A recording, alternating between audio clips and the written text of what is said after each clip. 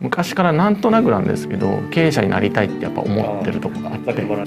で、えーまあ、それであればなんかこう経営者を、えー、サポートする、うん、仕事。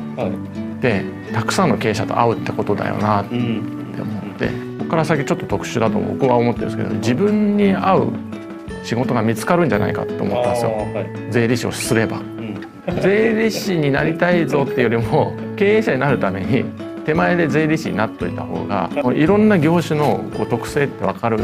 だろうなってイメージしてたんですね、はい、僕はまずその税理士になるまでにどの道すごい時間かかるなっていうのを、はい、まあ、その2年ないぐらいの勉強してた時すごい思っていて、まあ、もうあの正直10年ぐらいかかるなとかって思ってたのでじゃあ税理士じゃない期間があるわけですよね。会計事務所職員っていうでここで極めようって思って 日本一の会計事務所職員になるみたいなのを当時本当に言ってました。私がずっと M&A の支援してるっていうので会話にしやすかったっていうのはすごくあるんです。私の場合はです。うん、ただ他の担当者ってなかなかやっぱそういうわけにもいかないので僕らはこういうのを支援しましたっていう事例をあのこ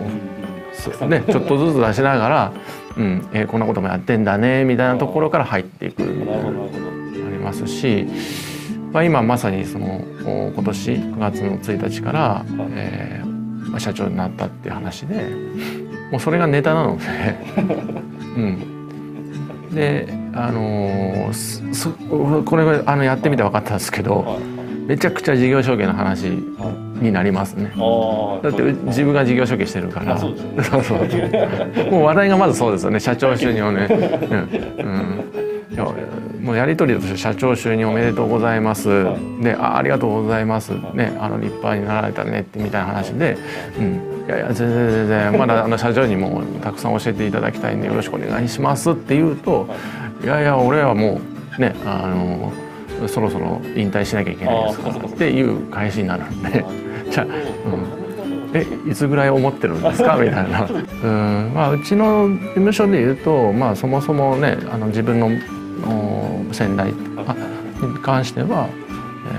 えー、すごい、えー、なんていうんですかねそかっちりしてない、うん、あの事務所を作ってこられたので、うん、すごい自由度が高かったですし、まあ、その中で自分も好きなことをたくさんやらせてもらってきたので、うん。まあ、今のそのもちろん一つのあの基盤にはなっていて、うん。まあ、その中でまあ自分の代というか、まあ、自分の仕掛けとしてはそれをまあより外に開放するというようなところはありますね。